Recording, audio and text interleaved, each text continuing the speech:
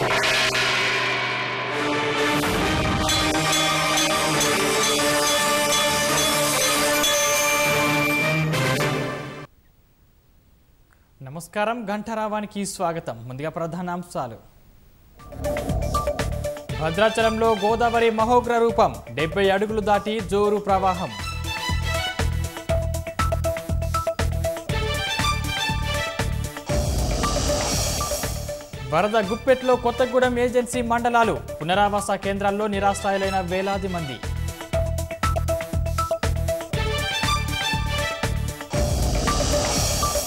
ఏటూరు నాగారం లోతట్టు కాలనీలు జలమయం. వేలాది ఎకరాల్లో దెబ్బతిన్న పత్తి మిర్చి పంటలు.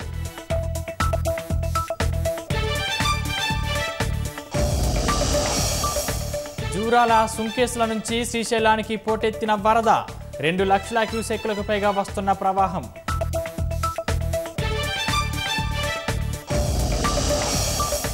పార్లమెంటు వేదికగా కేంద్రంపై ప్రభుత్వం పోరుబాట.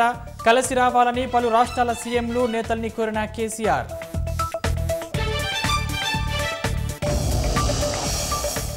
రేపు తెరాస ఎంపీలతో సీఎం కేసీఆర్ సమావేశం. పార్లమెంటు సమావేశాల్లో అనుసరించాల్సిన వ్యూహంపై నిర్దేశం.